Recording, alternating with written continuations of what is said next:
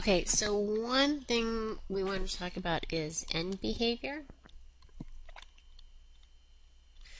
And so there are kind of these places on the graphs I want to show you. Like this is what a normal graph looks like. And so end behavior refers to kind of what happens way out here on the edges. Okay? What happens in the words of limit as x goes to positive infinity on this right side or as x goes to negative infinity this left side. Okay? So as x gets really big, in magnitude on either side, what is the graph doing? Um, and so this end behavior tends to be this concept that we need to put into the graph and, and recognize. So we talk about end behavior for um, rational functions and about these horizontal asymptotes. But before we do that, we want to just talk about polynomials.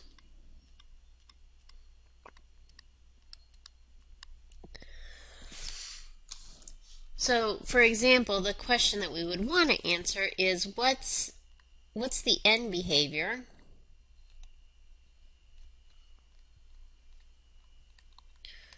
for a function like f of x is equal to, let's say, x cubed minus 3x squared plus 5x minus 7.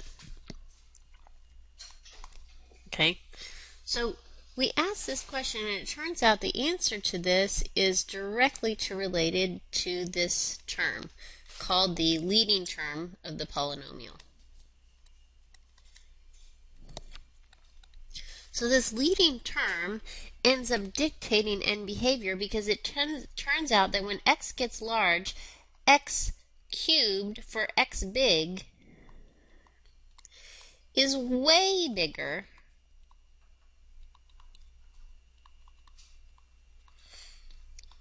than, let's say x squared or x or for that matter negative 7 right so when you plug in a thousand x cubed it's much bigger than a thousand squared it's definitely much bigger than a thousand and it's much bigger than 7 so it turns out this thing dictates what happens in this end behavior when x gets big Okay, oops. I, man, this, I, okay. I need some other, there's like a scrolling, I forget where it is. Hold on. Oh, I see it. There's the scrolling. I think this will be, give me, there. Oh, good. Okay.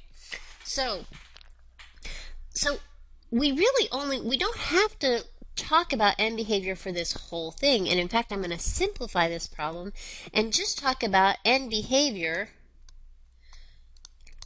for this guy that controls it, the leading terms, things that look like x cubed, or maybe like, maybe you have a coefficient on here, so maybe it's 7x um, to the fifth power, or maybe it's 6x squared, things that look like this, monomials, okay?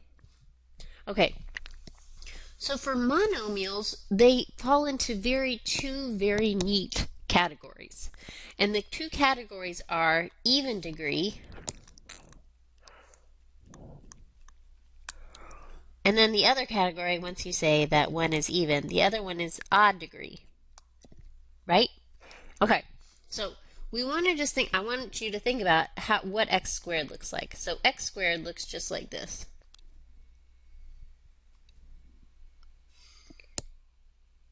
Right? This is what x squared looks like. So x squared.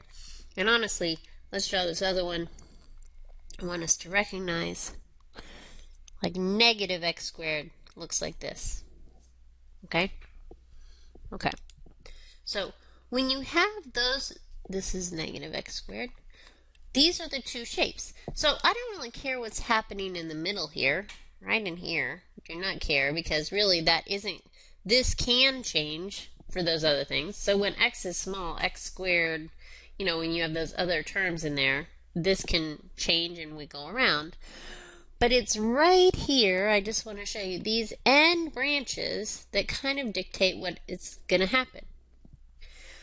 Well, it turns out this is what all polynomials.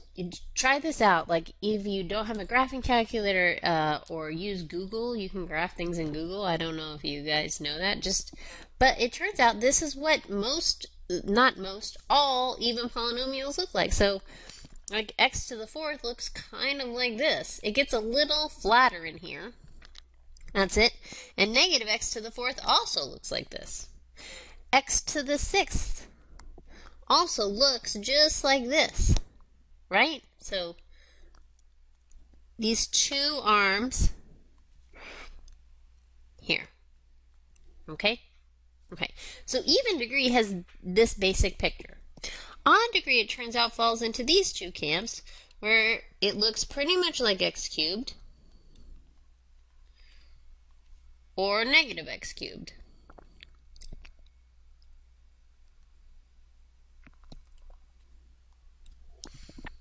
One of those two things.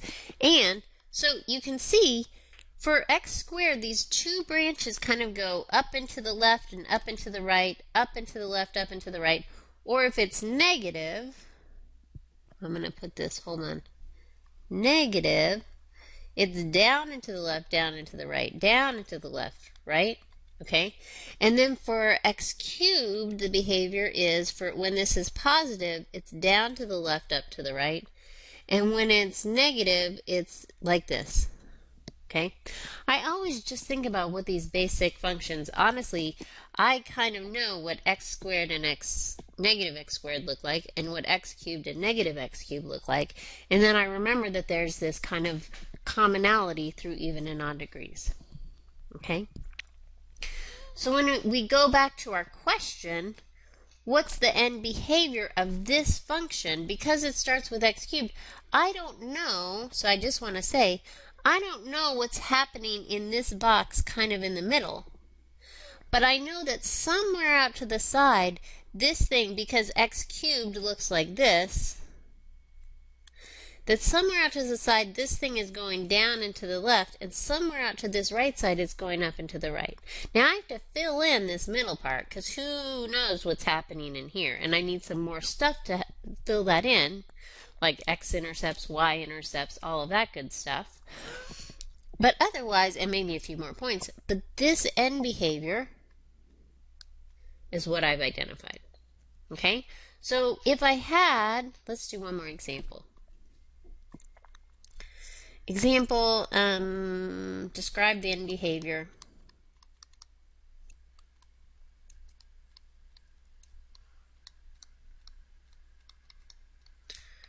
For f of x is equal to, say, negative 6 x to the fourth plus 3x squared minus 15.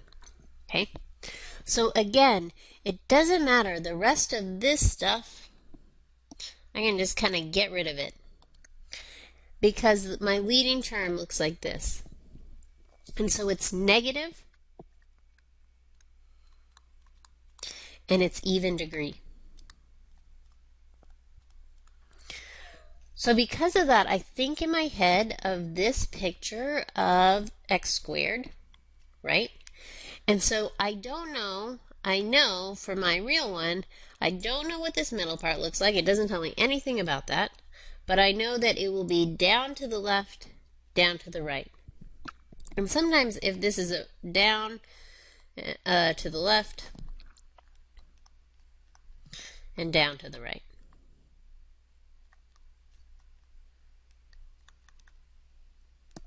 Then it looks like that. Eventually.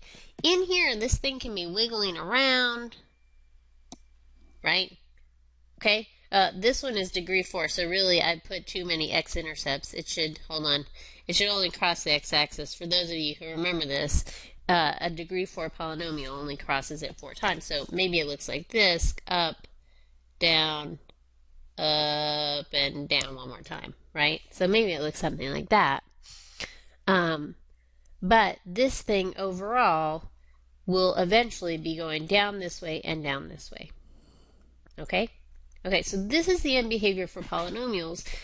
And it ends up also kind of describing what happens when we go to rational functions or dictating what happens when we go to rational functions because, again, these leading terms turn out to kind of control the end behavior for rational functions. Okay, let me know if you have questions.